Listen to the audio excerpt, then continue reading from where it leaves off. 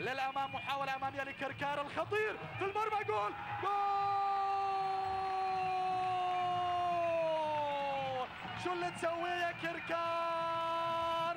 في هذه المباراة كركار التألق عنوان التألق اليوم. كركار المبدع في مباراة اليوم.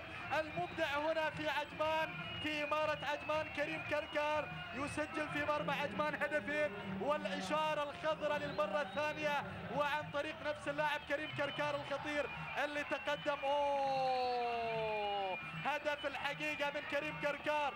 ماشي رايح كريم كركار يواجه المرمى ويفتح الإشارة يفتح الإشارة الخضراء ويسجل في مرمى البرتقالي ليسجل ثاني أهداف الإمارات في المباراة في الدقيقة الخامسة والثلاثين قبل انقضاء الشوط الأول بعشر دقائق. شوف فرح.